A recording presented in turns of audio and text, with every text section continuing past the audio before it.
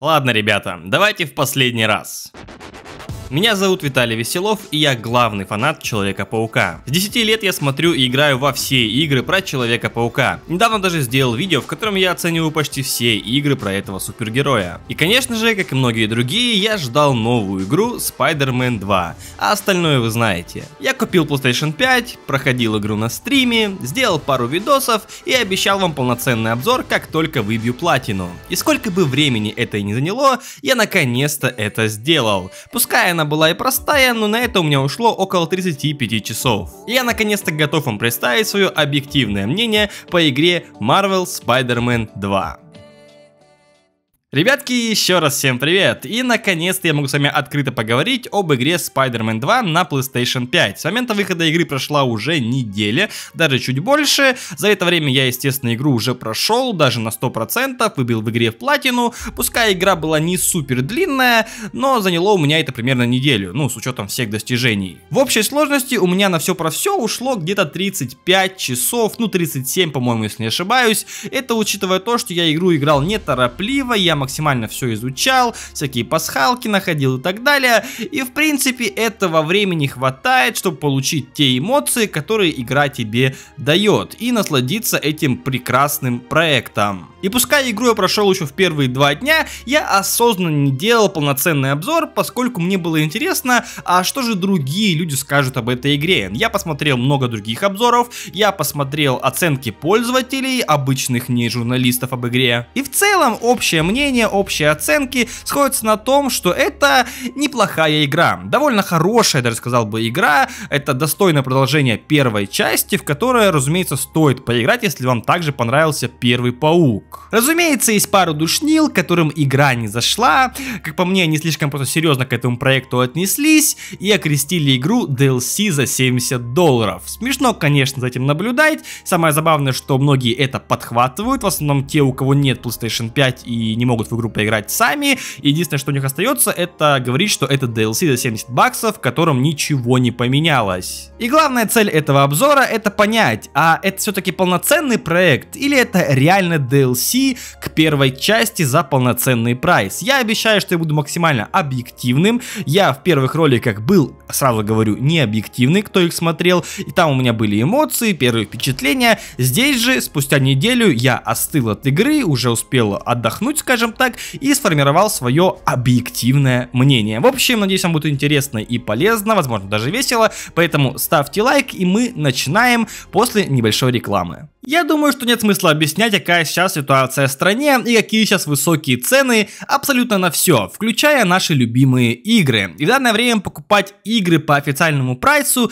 это, конечно, очень дорого. Тот же Marvel Spider-Man 2 стоит от 6000 рублей, что, конечно же, очень дорого. И в такое непростое время мне будет приятно вам порекомендовать сервис GameSwim, в котором вы можете купить абсолютно любую игру для своей консоли PlayStation PlayStation 5 по очень выгодным ценам. Я не шучу, здесь цены буквально в два раза ниже, чем официальные. К примеру, тот же Marvel Spider-Man 2 вы можете приобрести в два раза дешевле за 3600 рублей. И плюс к этому, используя мой промокод Веселов10, вы получаете скидку в размере 10% на абсолютно любую покупку. Это еще одна дополнительная выгода и еще одна причина купить игру именно в магазине GameSwim. В отличие от других магазинов, данный сервис максимально открытый и даже показывают всю свою внутреннюю кухню в группе ВКонтакте. Если вам реально было интересно, а сколько зарабатывают подобные магазины, то здесь все публикуется в открытом доступе. Администраторам нечего скрывать, что вызывает большое доверие. Ссылка на сайт сервиса и группы ВКонтакте будет в описании и в закрепленном комментарии к этому видео. И не забудьте про мой промокод. Скидочки же все любят.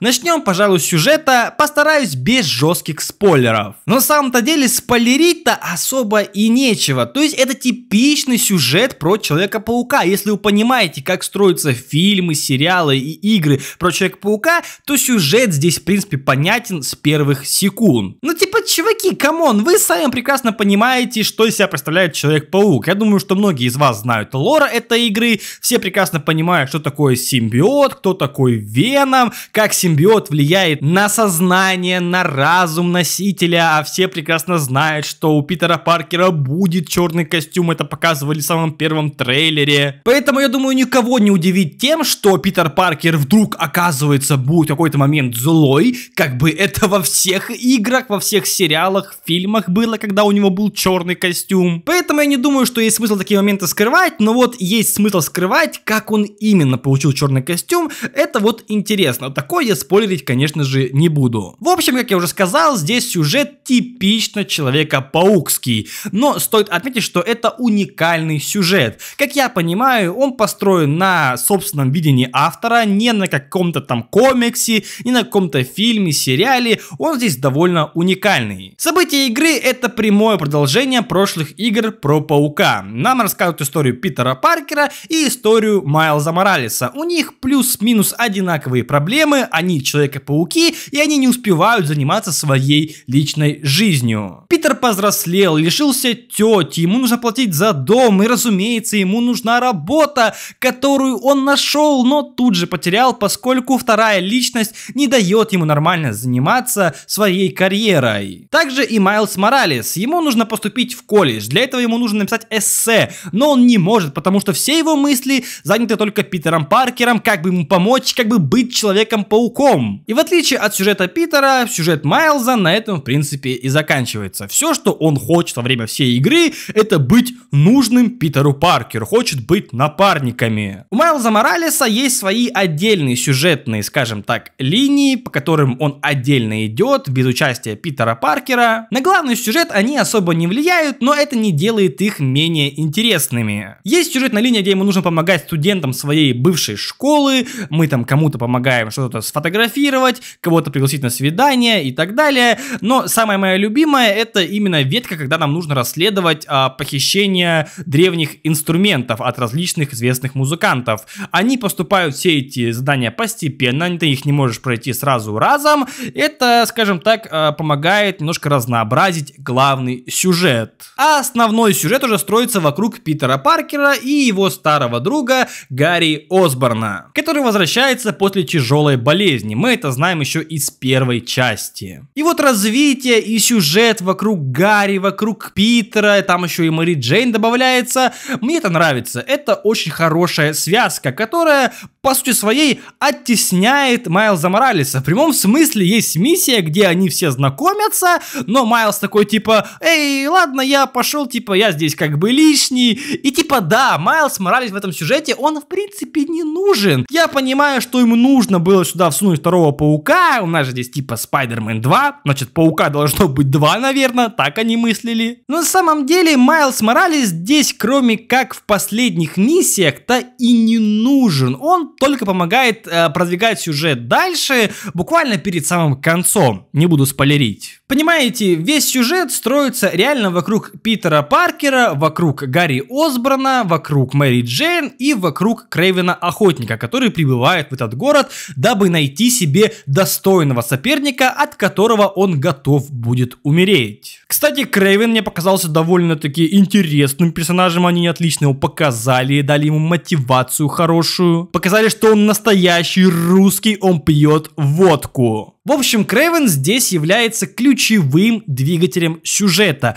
Он запускает события, он их продолжает, но не заканчивает. Но основной сырбор именно из-за него. Он ищет себе, опять же, достойного соперника, он освобождает всех опасных заключенных, которых впоследствии некоторых убивает, некоторых не сумеет убить, каких именно, опять же, не буду спойлерить. И самое главное, что все эти события не превращаются в какую-то кашу. До выхода игры я думал, что в игре будет очень много злодеев, и все это превратится в большую кашу. Нет, это не так, сюжет строится только лишь вокруг двух, по сути, злодеев в этой игре. И главный сюжет, он в принципе насыщен на события, без лишней каши, ничего лишнего не добавили и ничего не упустили. И как мне кажется, самое главное, что в конце а, главные герои приходят к какому-то выводу. Концовка у нас намекает на продолжение, будет также и третья часть, наверное, уже завершающая, ну, как я понимаю, хотя Человек-паук это очень, а, скажем так, хорошая большая дойная корова, поэтому, возможно, будет еще и четвертая, и пятая. Я, в принципе, не против. В общем, как мне кажется, сюжет здесь на 9 из 10. Ну, типа, минус балл за Майлза Моралеса мне показался он здесь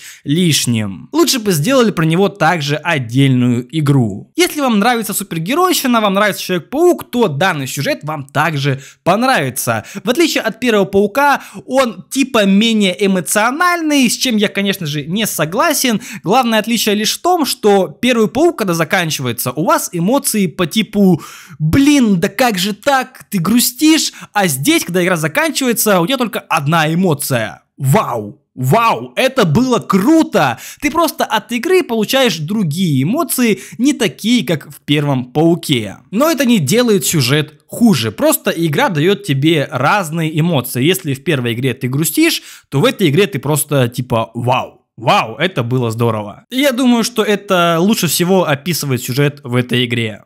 И давайте уже поговорим о геймплее в этой игре. Давайте коротко, он классный. Это именно тот геймплей, который ты хочешь получить от игры про Человека-паука. Но давайте чуть подробнее про это поговорим. В отличие от первого Паука, а, геймплей здесь кардинально не отличается. То есть основная формула, скажем так, основа, она осталась такая же. То есть, смотрите, разработчики взяли основную формулу, работающую формулу из первой части и улучшили ее во второй части. Добавили, допустим, к полетам новые возможности, увеличили скорость, увеличили различные анимации, добавили Wingsuit. Ты стал гораздо быстрее по этому городу перемещаться. Опять же, есть Wingsuit, который ты комбинируешь постоянно с полетами. Это невозможно отдельно рассматривать, потому что ты на паутине разгоняешься, включаешь Wingsuit, куда-то долетаешь, включаешь снова паутину, снова Wingsuit, потом бежишь по стене. Это классно, это круто. Да, это типа нереалистично. Нам же всем так нужен реализм реализм в игре про супергероев? Ну, конечно. Разработчики добавили пару функций, которые добавляют, во-первых, урон от падения. Это типа реалистично, опять же. Также добавили возможность регулировать помощь при полетах. Я думаю, что это сделано для того, чтобы закрыть рот душнилом, которые говорили, что вот, полеты слишком простые, одну кнопку нажал, бла-бла-бла, Человек-паук цепляется за все, что угодно, анимации типа прерываются.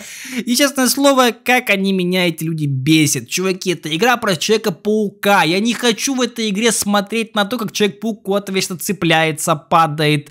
Зачем? Зачем мне это? И по этому городу я хочу мчаться, безостановочно куда-то лететь на какое-то преступление. И мне плевать, что полеты нереалистичные. Чуваки, это игра про супергероев. Тут реализм априори невозможен. Перемещение в такой игре должно быть динамичное, красивое, удобное. И в этой игре именно такое перемещение с помощью паутины и вингсьюта. И это не потому, что я какой-то казуал. Нет, просто игра Человек-паук это не про сложные механики полетов или боевки. Здесь должно быть все интуитивно понятно, чтобы ты играл на расслабоне и создавал некий танец, чтобы игра была красивая и доставляла тебе эстетическое удовольствие. Если я хочу более тяжелую, сложную, замудренную механику в игре, то я иду играю, не знаю, там в Death Stranding или Dark Souls со сложной боевкой. Но я не хочу видеть подобное в этой игре. Я хочу просто быть Человеком-пауком и на расслабоне, откинувшись, наслаждаться этой игрой. И, кстати, раз мы заговорили про Dark Souls, давайте поговорим про боевку в этой игре. Во-первых, большую часть времени в игре ты дерешься. В каждой миссии ты должен драться. То есть процентов 70 от всего геймплея это чисто боевка. И с таким, скажем так, экранным временем на боевку,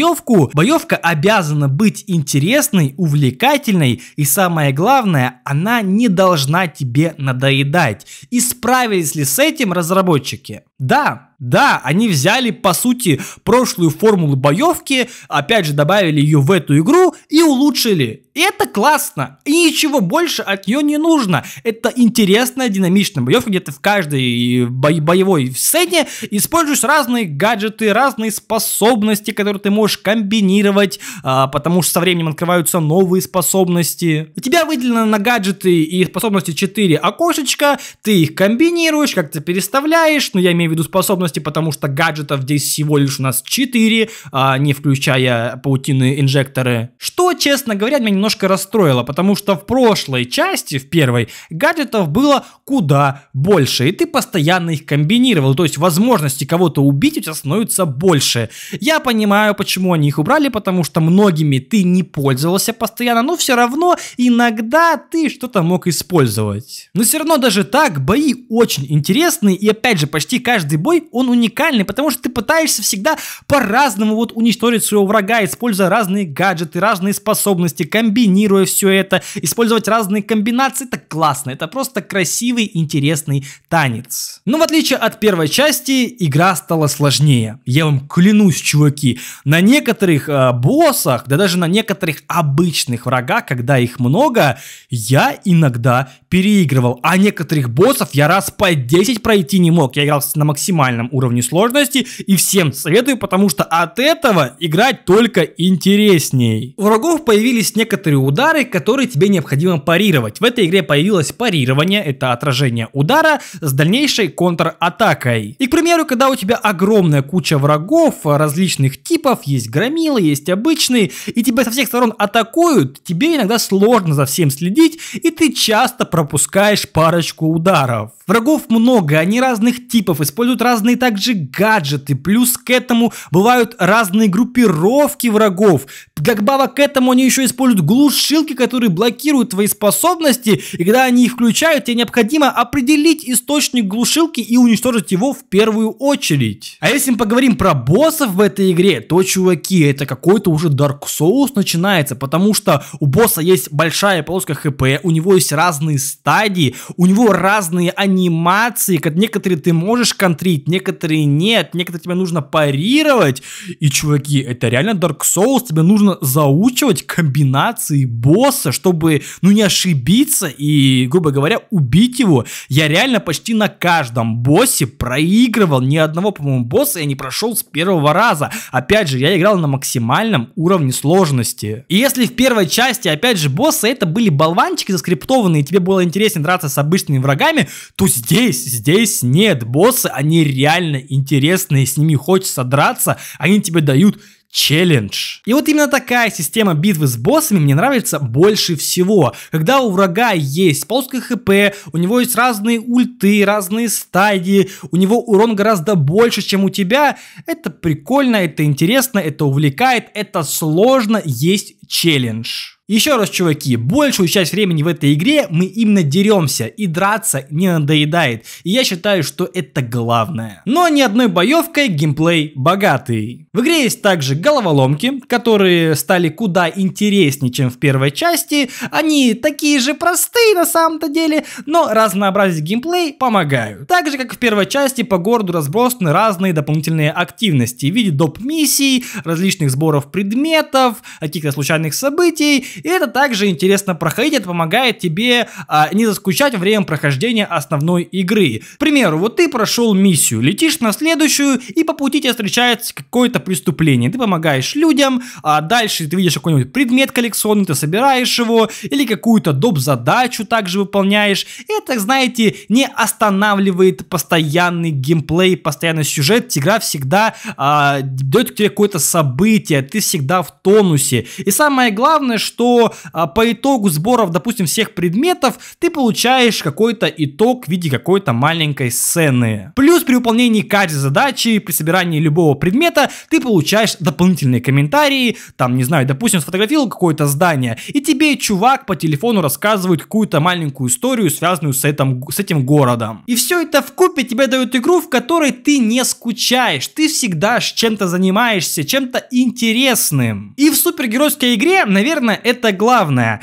Но все равно есть небольшая проблема, скажем так, во всех этих доп-задачах. Дело в том, что игра очень э, часто делает референсы к первой части. Опять же, игра, в принципе, построена на формуле первой успешной игры. Здесь также все это работает, но вот в плане доп-активности мне хотелось бы э, чего-то уникального. То есть, к примеру, у нас в первой части были лаборатории Гарри Осборна, где мы помогали окружающей среде, миру и так далее. Далее. Здесь также есть похожие лаборатории, у них другие миссии, они по-другому проходятся, другой сюжет и так далее. В общем, все другое, но основная структура здесь осталась такая же. И также, допустим, с фотографиями. Ты также фотографируешь какие-то события в городе, собираешь какие-то коллекции. В общем, очень-очень натянуто, но за это я даю игре реально минус. Именно вот в доп. активностях хотелось бы какого-то разнообразия. Но все равно, опять же, даже так это интересно проходить. Просто я еще недавно перепроходил вот первый как раз части, поэтому, наверное, мне это так бросилось в глаза. А в принципе, если вы давно прошли первого Паука или Майлза Моралеса, то вам также все это будет интересно. И если вы будете проходить игру, то ни в коем случае не пропускайте дополнительные чуваки задания.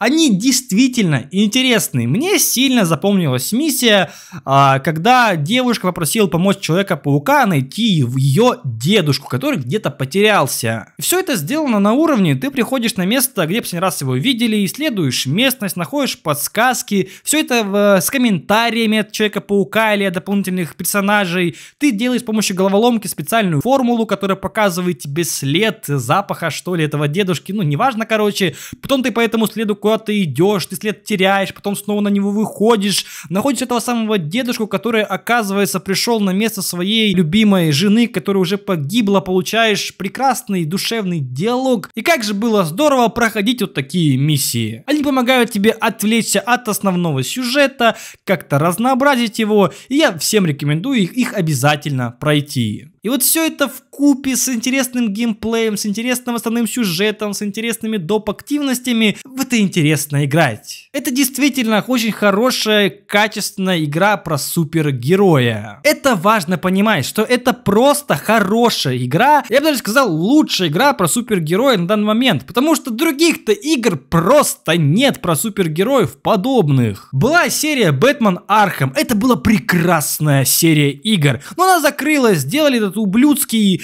Архем, Бэтмен, Сити, что-то такое. Короче, парашу туп тупую, которую никому не понравилась. И все, все, игр больше про супергероев вообще же нет. Поэтому на фоне ничего Spider-Man является реально лучшей игрой про супергероя, про Человека-паука. И я и заслуженно поставлю 9 из 10. Это прекрасный проект, который мне дал огромную кучу эмоций. Я активно в него играл всю неделю. И вот реально, чуваки, я не помню, когда я последний раз играл вот в какую-то игру, просто всю неделю хотел пройти домой побыстрее уже поиграть Человека-паука. Такие игры выходят не так часто, ну, лично для меня. Возможно, конечно, у вас другое отношение к супергероям в принципе, вам такие проекты не нравятся. Важно понимать, для кого эта игра сделана. Для любителей Человека-паука, для любителей супергероев. Конечно, если вам не нравятся подобные темы, то вам это не понравится, вы будете слишком серьезно к проекту относиться. Это не такая игра, где нужно сидеть, разбирать а, сюжет сюжет на какие-то нелогичные моменты, что вот Питер Паркер почему-то там кого-то не убил, почему он такой. Так это же супергерой, чуваки, это супергерой, это не серьезные проекты, это просто развлекалово, как фильмы Marvel. Игра и называется Marvel Spider-Man. Мой вердикт, что это, конечно же, не DLC за full прайс, но это только дурачок так будет говорить. То, что игра похожа на первую часть, да, похоже, да, структура такая же, но игра-то полностью переработана, изменен геймплей, из... другой сюжет, другая графика, все в этой игре другое, структура такая же. Чуваки, колда выходит почти каждый год с минимальными изменениями, и ничего, покупаете же, играете же, и не жалуйтесь. А тут такой проект с такими эмоциями. Вау, ну это же круто. Это крутая игра, которую я считаю э, стоит поиграть. если вам реально нравится, вот это очень важно, что если вы э, подходите по целевую аудиторию этой игры, разумеется, если вы какой-то серьезный мужик, который никому вообще не вкатывает ни Марвел, ни супергеройщина, конечно, вам игра не понравится. Но если вам нравится супергеройщина, нравится Человек-паук, то я всем рекомендую купить и поиграть эту игру. Я уверяю вас, она вам даст незабываемые эмоции.